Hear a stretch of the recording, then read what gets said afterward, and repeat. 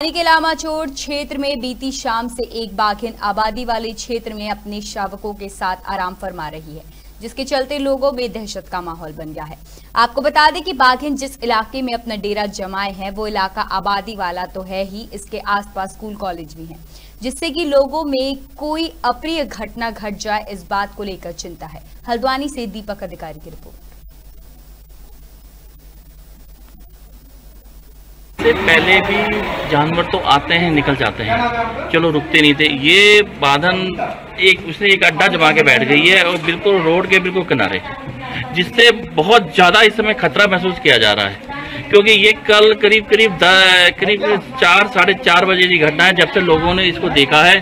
एक ने दूसरे को बताया, दूसरे ने तीसरे को बताया, उसे पता लगा, हमें भी पता लगा। हम भी मौके पे पहुँचे। हमने जब देखा तो रात तो हमने टॉर्च से देखा उसको तो हमें साफ़ दिख रही थी। सुबह करीब ये साढ़े सात बजे रोड के बिल्कुल जस्ट सौ मीटर दूरी में बिल्कुल रोड के ऊपर खड़ी हुई थी मेन ये उसके ऊपर ही अपने ज़मीन पे।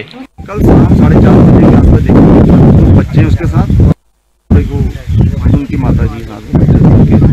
और कल शाम भी फॉरेस्ट की टीम आज दो तक यहाँ बैठे रहे, भगाने की कोशिश की गई।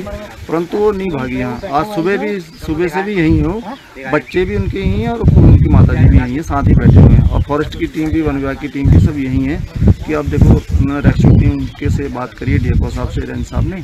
अब कुछ देर में डीएफओ साहब और रेंज साहब यहाँ आने वाले हैं। तो हो सकता है रेस्क्यू टीम आए और उसको करे रेस्क्यू। तो हम पूरी टीम के साथ यहाँ पर मौके पर मौजूद है। तब से लेकर अब तक लगातार हम लोग मौजूद हैं। और उसको जो भी गुलदार है, उसको हम देख रहे हैं। उसको क्योंकि बच्चे वाली है, दो बच्चे हैं साथ में। हमने इन्हें खुद देखा रात में।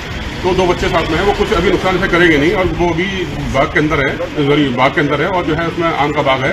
और उसमें पानी के पुल बह रहे हैं। ठंडा उसको पानी मिल रहा है। तो यहाँ पर रह रही है। पूरा हैबिटेट जो होता है उसे मिल रहा है। लेकिन ये अभी है कि हमारे डॉक्टर साहब आने वाले हैं। वो देखेंगे, बताएँगे किस तरह से रेस्क्यू किया जाएगा। उसके बाद जो कार्रवाई संभव है।